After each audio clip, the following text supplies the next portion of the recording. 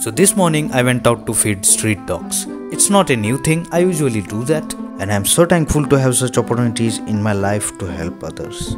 Also last year in lockdown, me and my family helped lots of dogs and cats with food and water.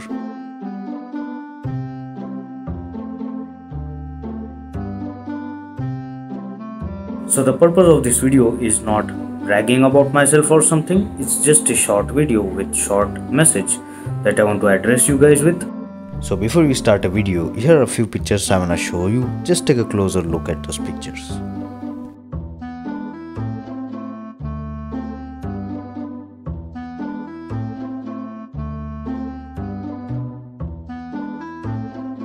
Now tell me what do you think about it? How do you feel about it and why?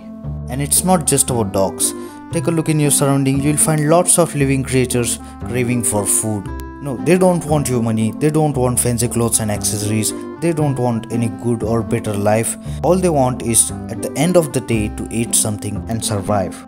Now, I know many people will say it's not a big deal. Every living creature on this planet can figure out what to eat and where to eat and where to find food. And if you're one of them who thinks it's not a big deal, then take a look at those pictures. A hungry man searching for food and expecting to find something to eat from a garbage can a hungry dog trying to find something to eat from a garbage. And many more things I can't talk about in this short video.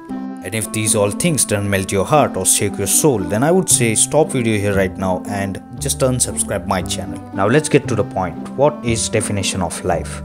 Life is not just about taking a birth and living for yourself and your family and then just die. I mean, you are really a lucky person to take a birth where your parents feed you, they look after you, and they do lots of things for you.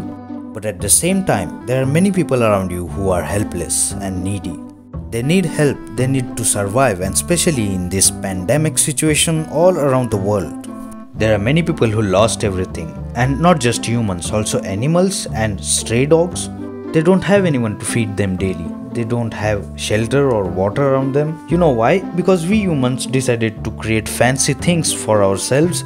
We cut trees, we destroy nature, we build buildings everywhere so that we can live peaceful life and feel secure. But what about birds and animals from whom you stole their houses and peaceful life? No one wants to talk about it because we humans are busy with our life.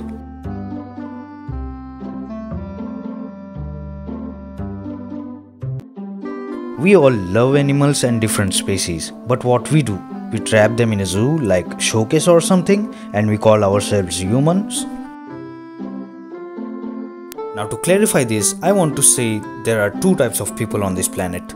The first who notices only good things and positive things happening around them and that makes them think everyone is happy in this world. And the second are those who see good things but also notices bad and sad things around them. Like I said, there are many living creatures around you who are needy and hungry, and if you feel sad about it, then congratulations. Here is the first step towards living life like how human is supposed to live.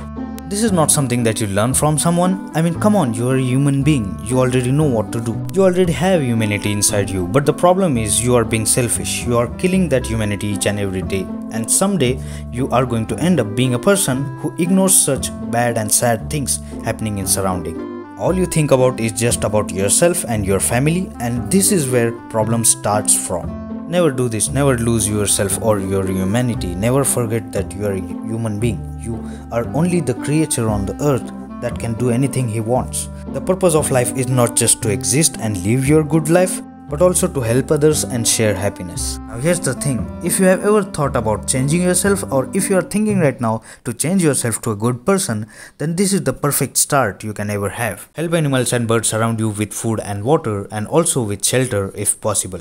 It's not only about hunger, stray dogs goes through lots of things in a day.